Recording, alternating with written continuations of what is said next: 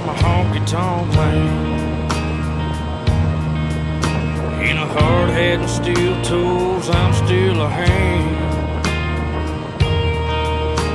I've had a few songs played on country radio. Just trying to make enough to keep from going offshore.